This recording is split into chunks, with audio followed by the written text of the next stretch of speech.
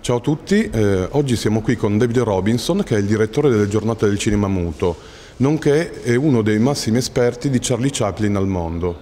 Eh, David ci vuole fare un saluto. David, cosa ci vuoi dire? Eh, ogni anno eh, quando saluto eh, il pubblico nella prima serata eh, dico lo stesso fraso, chi è benvenuti a casa. È vero perché siamo uh, come una famiglia qui e, e, e Pordenone che uh, os, ospita. Grazie a Pordenone.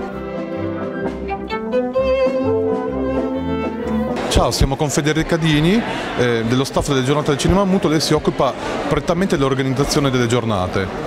Federica, cosa vuol dire organizzare un evento così grande e di portata internazionale? È un lavoro che si protrae per tutto un anno e che coinvolge una cinquantina di persone, alcune per periodi più lunghi, altri soltanto presi per il periodo strettamente precedente al festival e vuol dire occuparsi di trasporti, di movimento film, dei problemi degli ospiti, eh, delle autorizzazioni per proprietari e film, eh, di tutti i permessi necessari da parte del comune. È un grandissimo lavoro eh, che a volte spaventa, però poi quando si è dentro trascina e riempie di entusiasmo entusiasmo.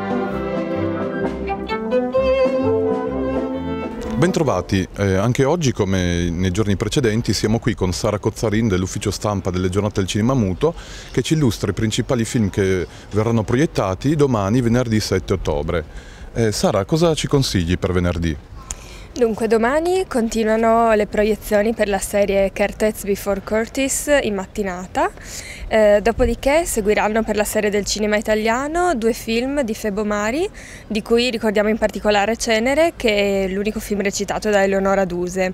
E altri due film italiani andranno poi in onda di sera, eh, dopo l'attesissima proiezione di The White Shadow, eh, il film di Graham Katz con la partecipazione di giovane Alfred Hitchcock.